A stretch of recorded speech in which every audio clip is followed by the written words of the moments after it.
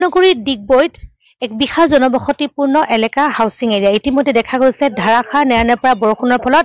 এই দৃশ্য যিহেতু দেখাইছে তদনগৰী ডিগবৈৰ এটি এলেকাৰ দৃশ্য। এই এলেকা বৰ্তমান দেখা গৈছে কৃত্ৰিম বানপানীৰ কবলত। আৰু ইয়াত জনবসতিপূৰ্ণ এই এলেকাৰ প্ৰতি ঘৰ লোকৰ ঘৰে ঘৰে দেখা গৈছে। এনেদৰে কৃত্ৰিম বানপানীৰ কবলত পৰিছে তেওঁলোকৰ ঘৰ। সম্পূৰ্ণ পানীত সোমাই পৰিছে তেওঁলোকৰ পাকঘৰ পৰ্যন্ত যিহেতু পানীত ডুব গৈছে। আৰু ইয়াত যিহেতু দেখা গৈছে হাৰাশাস্তি ভুগিছে এইসকল লোক।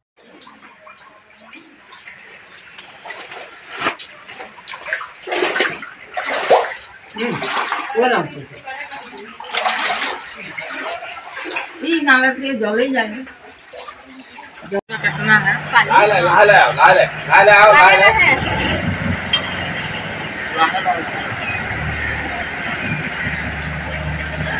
হয় ইয়াত যিসকল লোক যিহেতু এনেদৰে খুব দুৰ্যোগ ভুগি আছে এই কৃত্ৰিম বানপানী কবলে আমি তেওঁলোকৰ মাজলৈ যাবলৈ চেষ্টা কৰিম। কি ক'ব যিহেতু এক বিশাল জনবসতি ইয়াত যিহেতু লোক বাস কৰে এনেদৰে হঠাৎ ধাৰাসাৰ বৰষুণৰ ফলত বানপানীৰ কবলত পৰিছে কৃত্ৰিম বানপানী। চাওক আমাৰ কালিবাৰী কালিবাৰী এৰিয়াত আগত আছিলে দুটা নলা আই অ' চিৰ বৰ্তমানে এটা নলা আই অ' চিৰ এইটো সংযোগ বিচ্ছিন্ন হৈছে আৰু এটা নলা গোটেই কালিবাৰী এৰিয়াৰ পানীখিনি এই নলাটোৰ ওপৰত আহে। বৰ্তমানে আমি বহুবাৰ আমাৰ টাউন কমিটিক আমি কমপ্লেইন কৰিছোঁ এই নলাটো চাফা কৰিবলৈ আৰু এই নলাটো ঠিক কৰি দিবৰ কাৰণে।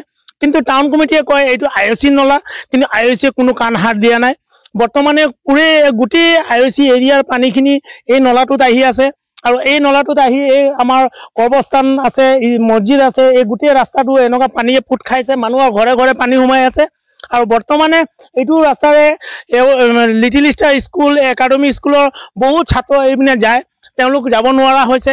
আজি যেনেকুৱা ৰাতিপুৱাৰ পৰা এই গোটেই এৰিয়াটো অলপ বৰষুণ হোৱাৰ কাৰণে গোটেই এৰিয়াটো ডুব পোত খাইছিলে।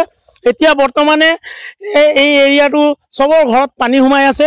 সেইটো কাৰণে আমি আই অ' চি প্ৰশাসনক যে অনুৰোধ কৰিম যে তেওঁলোকে এই নলাটো যেনেকুৱা চাফ চিকুণ কৰি দিয়ে আৰু এই নলাটো যেনেকুৱা ভালকে বনাই দিয়ে আগতে এটা কালভাৰ্ট আছে।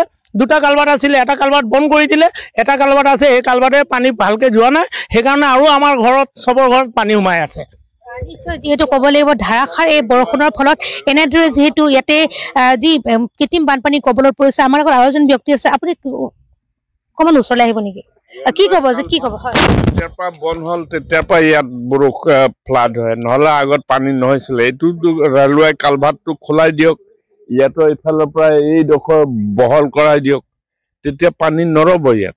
মেইন কথা হ'ল এইটো নিশ্চয় যিহেতু জলমগ্ন হৈ পৰিছে আচলতে সম্পূৰ্ণ এই যি এলেকা ইতিমধ্যে দেখা গৈছে যে এই এলেকাত জলমগ্ন হোৱাৰ কৃত্ৰিম বানপানী কবলৰ পৰা এই উদ্দেশ্য হৈছে ইয়াত যিহেতু নলা আৰু এই নলাটো যিহেতু তেওঁলোকে যি খুলি দিবলৈ বা চাফ চিকুণ কৰিবলৈ যেতিয়া তেওঁলোকে আহ্বান জনায় তেতিয়া দেখা গৈছে ডিগবৈ নগৰ সমিতি যিটো ডিগবৈ আই অ' চি প্ৰশাসনক তেওঁলোকে ঠেলি দিয়ে আৰু আই অ' চি প্ৰশাসনক জনোৱাৰ লগে লগে তেওঁলোকে নগৰ সমিতি ঠেলে। এতিয়া প্ৰশ্ন হ'ল এই যি ডিগবৈৰ বিশাল জনবসতিপূৰ্ণ এই এলেকাৰ এই বাসিন্দাসকলে কাৰ ওচৰলৈ যাব আৰু কোনে দায়িত্ব ল'ব? এই যি অঞ্চল এই অঞ্চলত যি কৃত্ৰিম বানপানী কবলত পৰিছে ছাত্ৰ ছাত্ৰীসকলে দুৰ্ভোগ ভুগিবলগীয়া হৈছে এই অঞ্চলত অহা যোৱা কৰোতে। গতিকে এই প্ৰশ্ন উত্থাপন হৈছে এতিয়া সচেতন ৰাইজৰ মাজত যে আই চি প্ৰশাসনে ইয়াৰ দায়িত্ব ল'ব নে ডিগবৈ নগৰ সমিতিয়ে দায়িত্ব গ্ৰহণ কৰিব?